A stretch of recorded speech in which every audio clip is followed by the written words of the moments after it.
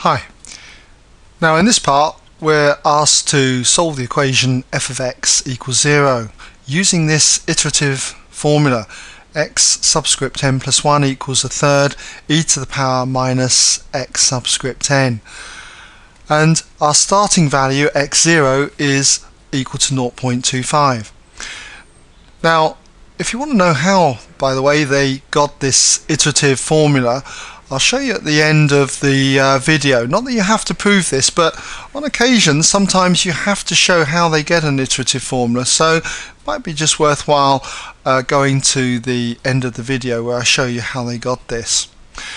But nonetheless, okay, let's just see how we get the next three approximations to the root x1, x2 and x3 which we've got to find to four decimal places. So to get x1 what we need to do is basically take when n equals 0. When n equals 0 you're going to have x0 plus 1 that would be x1 so you have the first or next approximation I should say because we've already got the first approximation. X0 is 0.25 x1 will be one third then of e to the power minus x and n is 0 so that'd be minus x0 what's that going to be? Well it's going to be one third then of e to the minus 0.25 and if you do this on your calculator what you should find you get is 0.259600 and so on. So that to four decimal places that's going to be 0.2596 to 4dp.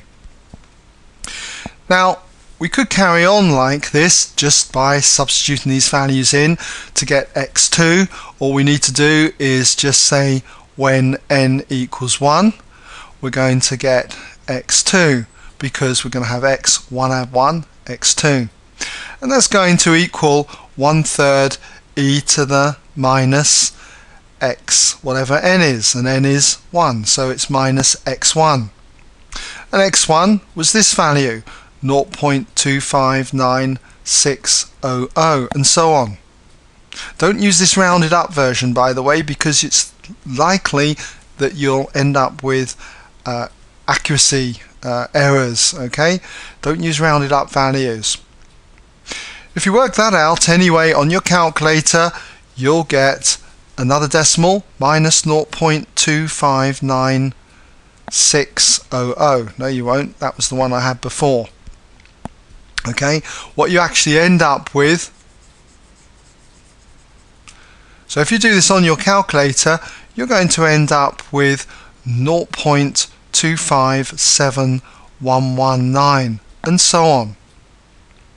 And again if we do this by setting n equal to 2, you'll get x3. In a similar way, it's going to be one third e to the minus 0.257119. And if you run that through on your calculator, you'll find you get 0.257758 and so on.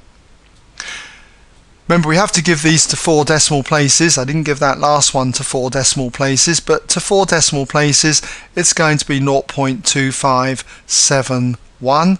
Let's just put 4dp there. And for this one, this is going to equal 0.2578 to 4 dp's. Now, when you do questions like this, to be fair, if I was doing it, I wouldn't really set it out like this. It's not worth that many marks. We're just interested in getting these answers. But this is just a breakdown just to show you how it you know how we arrive at these answers. So how would I have done it? Well, basically if you've got a calculator, a scientific calculator, you should be able to use the answer button, often written ANS. And what I would do is I would first of all enter 0.25 into my calculator. I just type in 0.25. Let's just write this down for you. Okay, put 0.25 into your calculator and then just press the enter button okay um, or you, maybe if you haven't got an enter button there just press equals okay I think really that's most probably on most calculators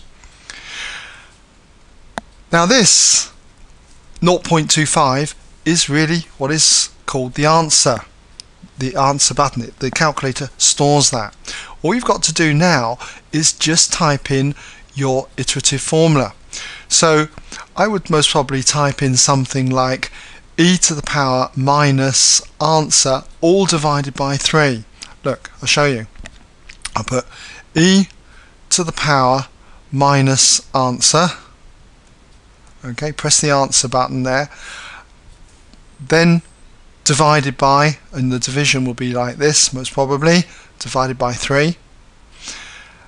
Now, every time you press equals, when you press equals next time, what you'll find you get is, or you should find you get, is this answer 0.2596. Let's just put that in 0.2596, 0, 0, and so on.